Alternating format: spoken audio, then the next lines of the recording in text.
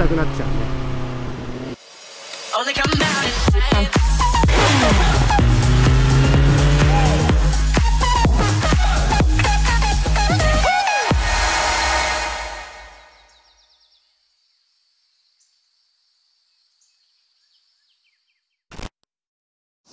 はい皆さんこんにちは。エスプレッソライダーです。今日はねこの SNRR のカスタムをしていきたいと思うんですけど今日取り付けるアイテムはこちら。じゃん買っちゃった、えー SC プロジェクトのこのスリップオンマフラーをね取り付けていきたいなと思います。本当はねノーマルのままでしばらく乗ろうかなと思ったんですけどノーマルがあまりにもね静かすぎて結局ね買っちゃいましたね。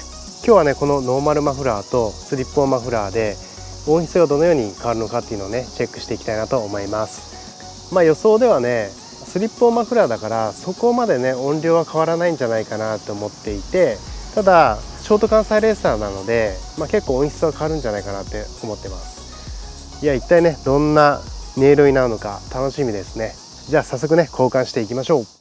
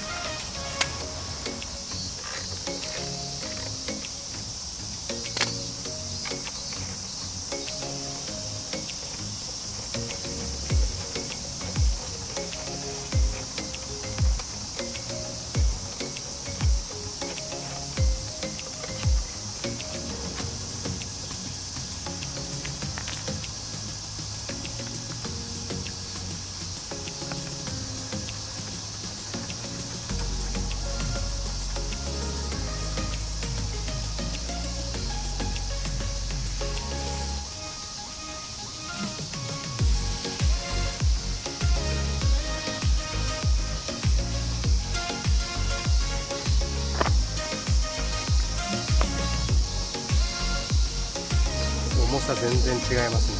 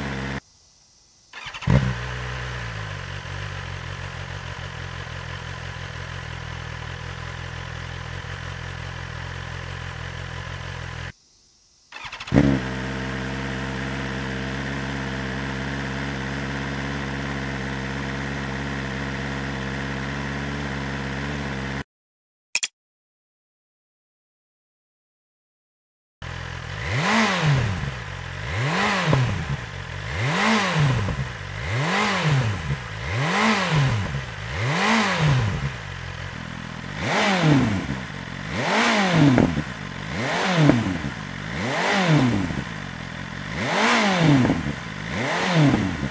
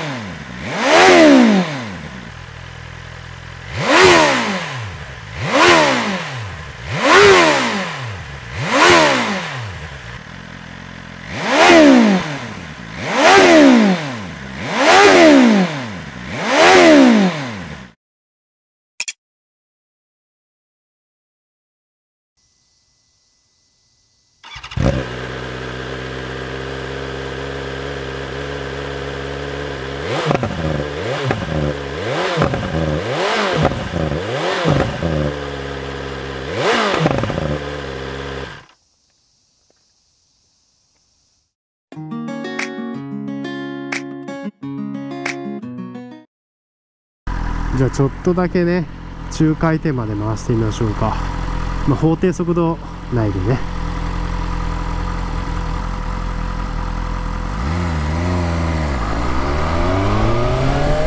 こんな感じ